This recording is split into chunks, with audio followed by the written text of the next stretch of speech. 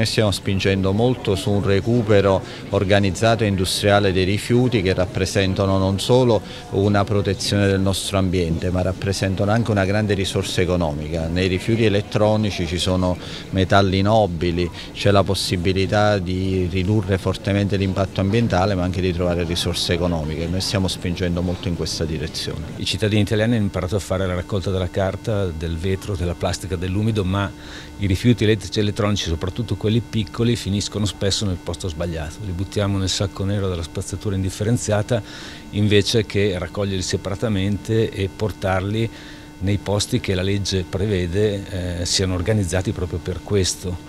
Le isole ecologiche dei nostri comuni e i negozi che vendono apparecchiature elettriche elettroniche che sono obbligati a ritirare le apparecchiature eh, con due modalità, uno contro uno, cioè eh, ritirare il vecchio RAE quando compriamo un'apparecchiatura equivalente e questo vale per qualunque tipo di apparecchiatura e per qualunque negoziante, oppure con modalità 1 contro 0. Abbiamo la possibilità di lasciare gratuitamente i nostri piccoli RAE fino a 25 cm ai grandi negozi specializzati anche quando non compriamo nulla.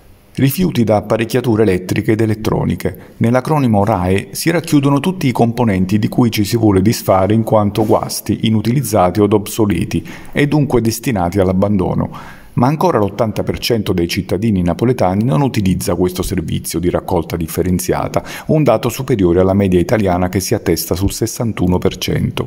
In seguito allo studio del consorzio del sistema Erion che gestisce i RAE e la società di studi e ricerche Ipsos presentato stamattina a Palazzo San Giacomo, parte un progetto di raccolta straordinaria dei rifiuti elettrici ed elettronici in alcuni istituti scolastici napoletani, con l'accordo firmato con Asia al termine della tavola rotonda Riciclare i RAE è una bella storia. Nelle scuole devono passare dei messaggi che, vengono, che devono essere veicolati in modo chiaro e anche efficace dal punto di vista scientifico, quindi i ragazzi poi sono coloro che eh, prenderanno in mano no, queste, questi processi, li porteranno anche all'interno delle loro famiglie e faranno anche un lavoro educativo con i loro genitori e con i loro parenti.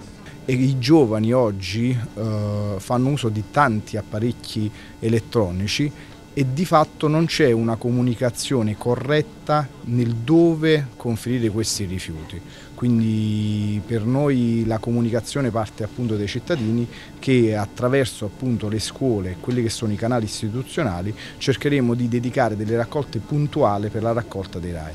Lo smaltimento dei rifiuti elettronici è diventato una delle grandi emergenze della contemporaneità, è una grande risorsa eh, ma è anche un grande problema ambientale. Partiamo dalle scuole perché chi maneggia più cellulari, videogiochi sono proprio i ragazzi e quindi questa è l'occasione per spiegare loro che questi strumenti poi debbono essere poi smaltiti e vanno smaltiti in maniera regolare.